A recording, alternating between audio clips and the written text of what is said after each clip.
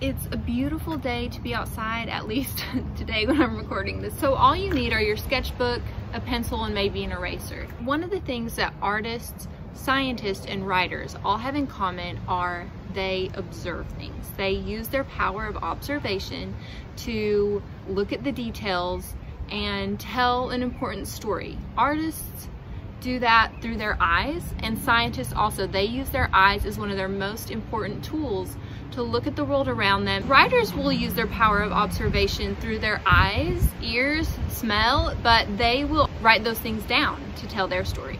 So what we're going to do is I'm going to talk about the robot method of drawing as we look at something and try to make a detailed drawing of what we see. I have this beautiful hosta that's coming up nicely and I'm just going to draw that so what my remote control, I said robot method, but really it's really more of a remote control.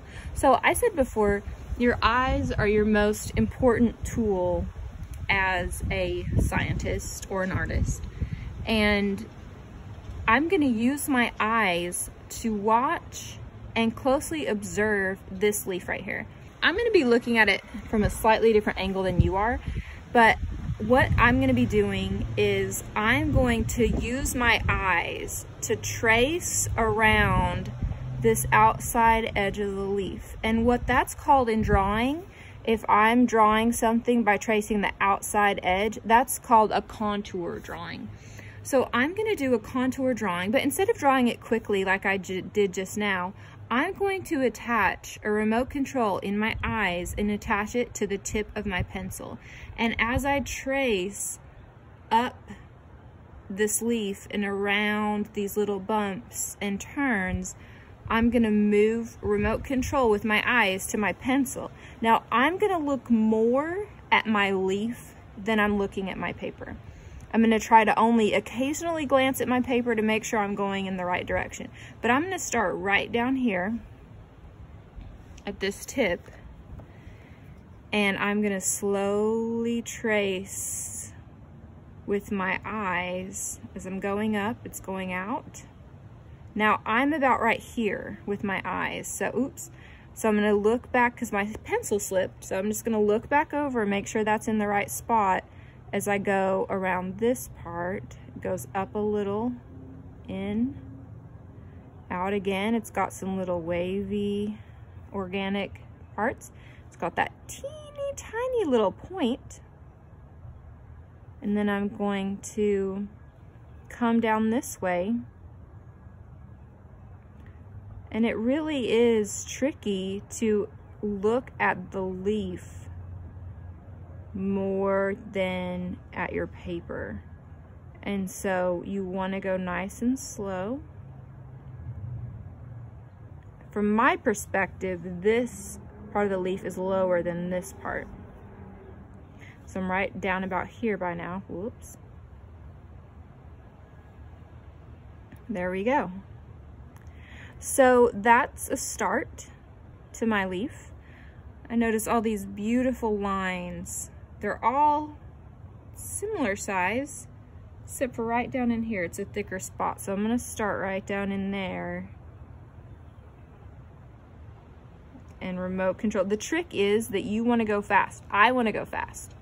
I'm looking at this and my brain says to me, Miss Larsen, you know what that is. But if I can slow myself down, then I can really do a better observation because your brain has to make a lot of quick choices about things in life and you would be forever doing things if you're if you went this slowly. But if you can get your brain to slow down and remote control your pencil while you do this drawing you can really observe it very carefully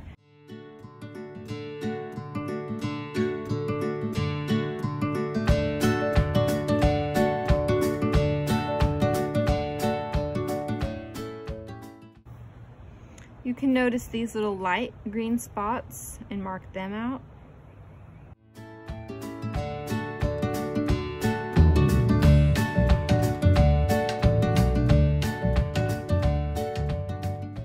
So there I have my little hosta leaf.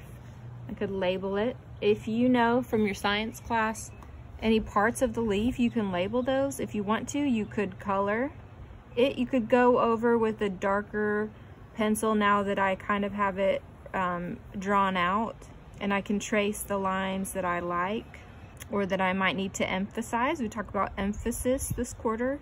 So if I want the emphasis to be on the outside shape, maybe, and have these other lines be lighter, I could. I could erase the shaky lines that I didn't like if you've drawn lightly. That's what I want you guys to practice doing is take a minute to observe something. You can go outside if that's okay. You can look at some indoor plants. You could look at something, maybe a fruit or vegetable if you can't go outside. I'd love to have you just draw in here a lot more. So feel free and just share with me, upload to Seesaw, and I can't wait to see what you guys draw.